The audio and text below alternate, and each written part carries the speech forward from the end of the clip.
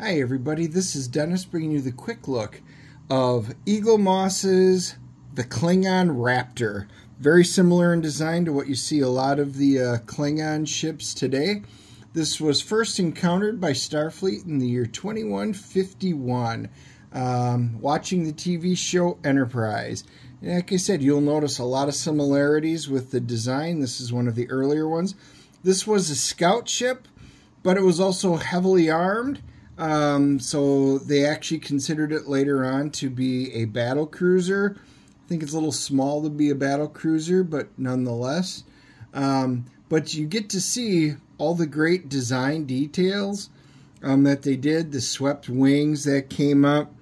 Um, very similar to like uh, the D5s and the Birds of Prey, which we will be showing. So smash that like and subscribe button, and we'll talk to you all soon.